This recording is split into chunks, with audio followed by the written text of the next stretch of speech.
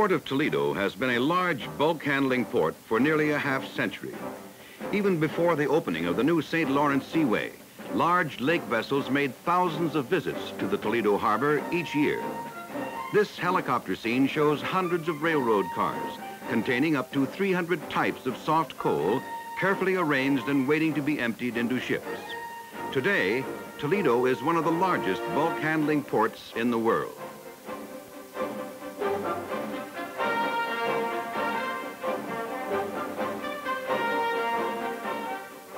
Large contributor to the Toledo Harbor's reputation as a coal port is this mammoth loader built by the Chesapeake and Ohio Railway.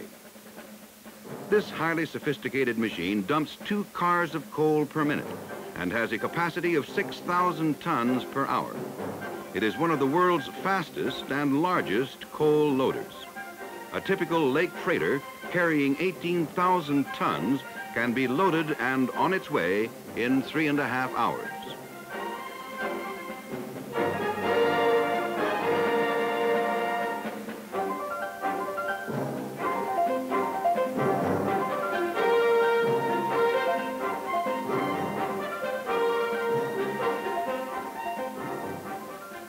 The coal moves on a series of conveyor belts. A computer scale registers the weight automatically. The principal belt is eight feet wide. Conveyor belts deliver the black mineral into a large telescopic chute through which it falls into the holds of the ship. It fills each hold of a vessel while the ship remains stationary.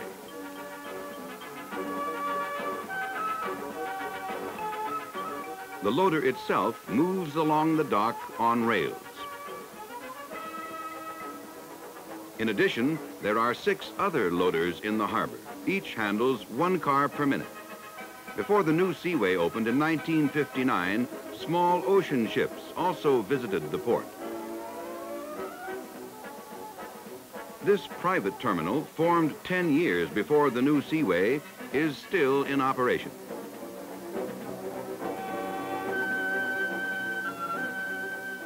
The first overseas ship to bring in general cargo following World War II was served at this location. Today, it specializes in handling rolls of newsprint, weighing nearly a ton each.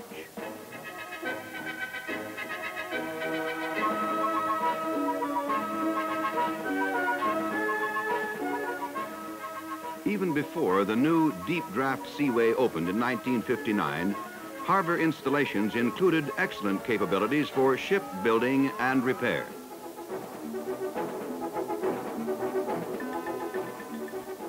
Next to the shipyard is one of the largest pig iron plants on the Great Lakes.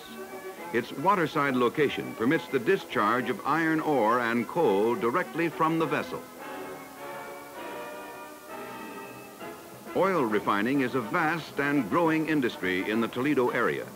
Over a million tons of refined petroleum products leave the port each year.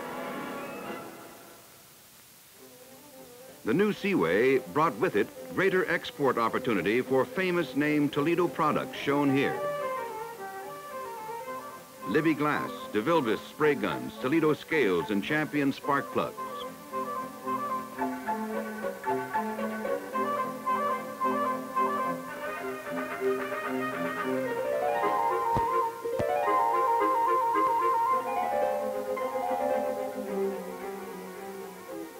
Residents of the Toledo area were among the first to realize the need for a new deep draft waterway, which would effectively link the industrial and agricultural core of the United States to the great ports of the world.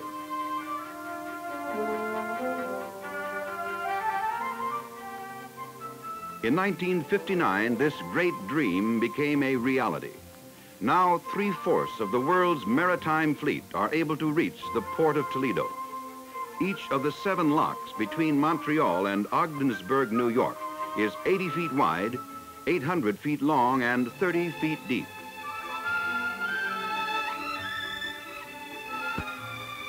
One man at this control panel operates the gates at the Eisenhower lock. All locks of the St. Lawrence Seaway system are filled and emptied by gravity. Vessels up to 730 feet long, 75 feet wide, drawing 25 feet 6 inches of water are permitted.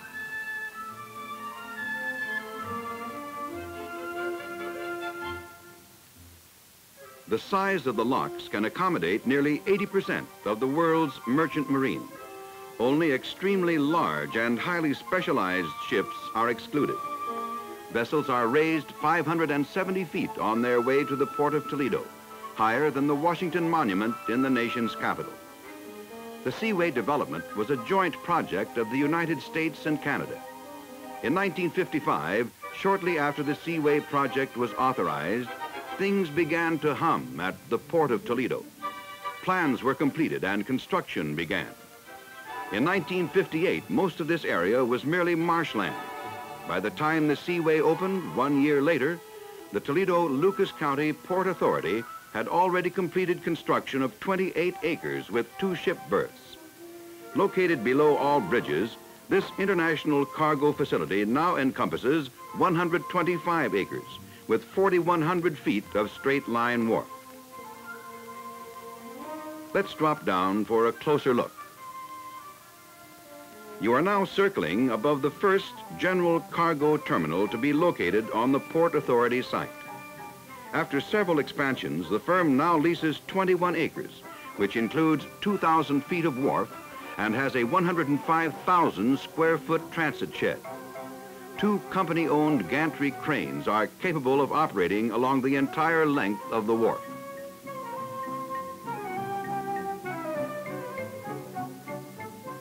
This open berth, maintained by the Port Authority, ensures access to unleased areas. The second general cargo terminal leases a 50,000 square foot transit shed, two ship berths, and eight and a half acres of land. From this vantage point, it is easy to see the highly desirable open storage area behind the wharves, an asset which is lacking at so many ports.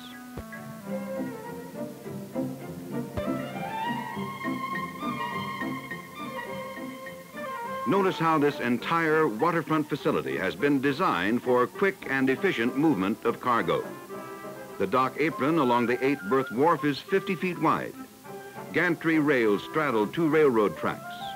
Both freight car and truck loading docks are at the rear of the warehouses. It is possible to move transient cargo straight through the transit sheds to either rail car or truck. Cargo can be loaded fast, efficiently, and without congestion at shipside. Forklift trucks, which can hold up to 20 tons, mobile cranes, and other essential equipment can easily spot most cargo in any of the storage areas on the 125-acre site.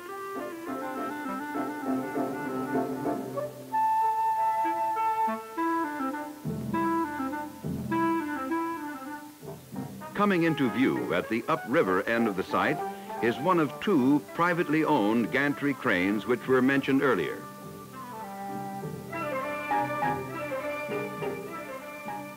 Having the advantage of building a completely new city, the Port Authority anticipated rapid tonnage growth and provided for sufficient cargo accommodations. Access to 30 acres of paved open storage area is as close as 500 feet from the water. Although only 18 acres are shown here, there is a total of 30 acres for holding commodities. Fencing and lighting ensure cargo safety. Specialized equipment can move containers to and from the dock. Our helicopter is now passing over the roof of the building which contains the foreign trade zone. As construction proceeds, let's go upstairs for a better view. The only operating foreign trade zone or free port on the Great Lakes is situated within a nine acre area on the Port Authority site. The 235,000 square foot building is used for both foreign and domestic merchandise. Goods of every description may be stored, sold, repacked, assembled, and sorted. Or they may be graded, manipulated, and manufactured products in the zone are not subject to payment of customs charges until withdrawn from the exempted area. Prior to the opening of the zone at the Port of Toledo, similar services were confined to coastal locations. A liquid storage terminal is also a tenant of the Port Authority. Tanks are served by pipelines which connect the facility with the wharf. Color-coded for various liquids, 12 tanks have a capacity of 7 million gallons. Big Lucas, the Port Authority's heavy lift gantry crane, travels on rails along the entire 4,100 feet of wharf. It can place 110 tons on the deck of a ship or 80 tons into the hold.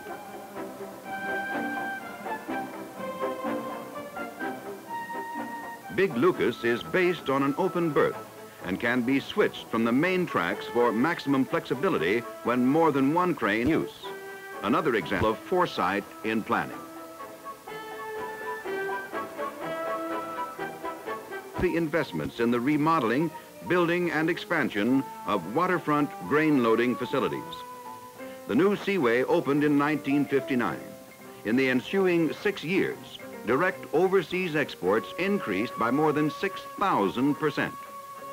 The grain shipment picture at the Port of Toledo may well reflect one of the most impressive growth rates in the world. Soft red and white wheat, corn and soybeans from the rich farmland of the Midwest are sent from the port to points all over the globe. Each of the three installations is capable of filling a ship's hold at the rate of 50,000 bushels an hour.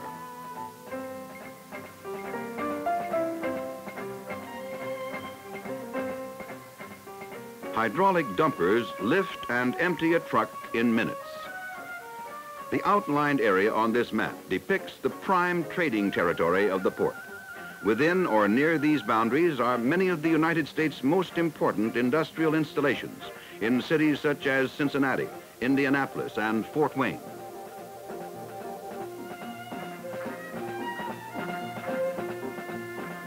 Using Cincinnati as a focal point, it is 655 miles to New York, but it is only 201 miles to Toledo. With ship charges almost the same on most commodities, whether you use the East Coast or Toledo, just think of the savings that can be realized through reduced inland transportation costs. Goods moving from the west can profitably stop at Toledo.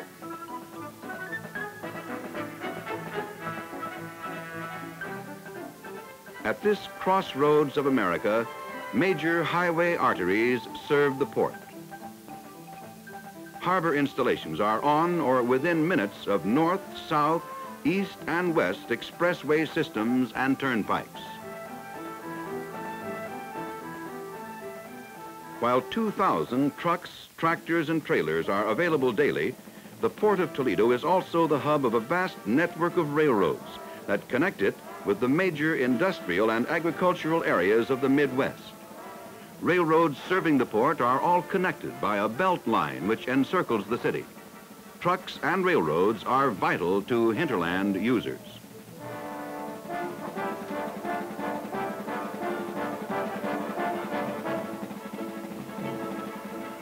At Findlay, Ohio, the House of Guest imports tons of olives from Spain each year. New Idea Farm Equipment Company exports farm machinery. Here, workers are making corn pickers. On shipments of this product alone, New Idea saves nearly $40 per unit. When New Idea workers put together an export shipment routed through Toledo, they are building a competitive advantage for their company.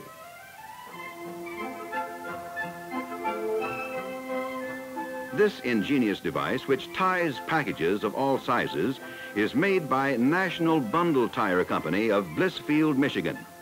Up to 30% of its business is done overseas. A local cartage firm takes the shipments directly to dockside, and the company saves nearly $30 on each machine it routes through the Port of Toledo.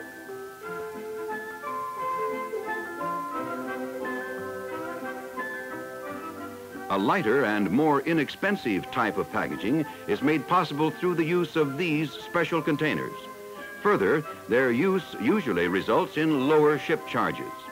Earlier, you saw Port of Toledo areas suitable for handling units of this type.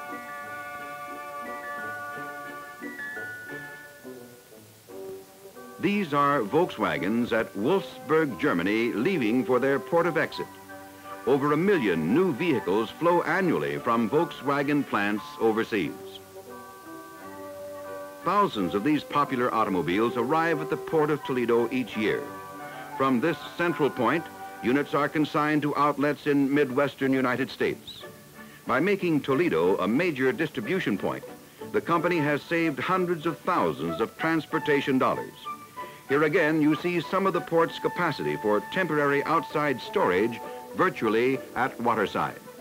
By the end of 1965, the Port of Toledo had handled more than 100,000 Volkswagens.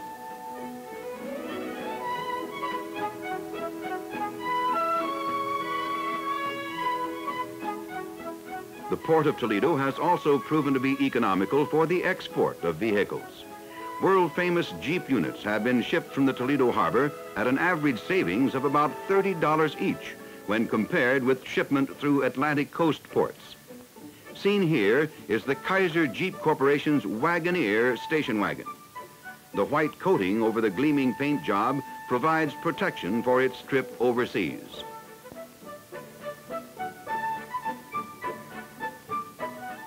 Military units with that familiar profile stand ready and processed for overseas delivery. This cargo and all other fine products in international trade could not, however, be moved without dependable vessel service. More than 40 lines visit the Port of Toledo. Many, such as the vessels shown here, are veterans in the Great Lakes service. Now that the advantages of the seaway system are becoming fully realized, new high-speed vessels have been specially built for voyages into the Great Lakes. Ever-increasing world recognition of the Port of Toledo's outstanding geographical location, superb inland transportation, and modern facilities will provide many more exciting chapters in the story of the Port of Toledo, Ohio, USA a story which has no ending.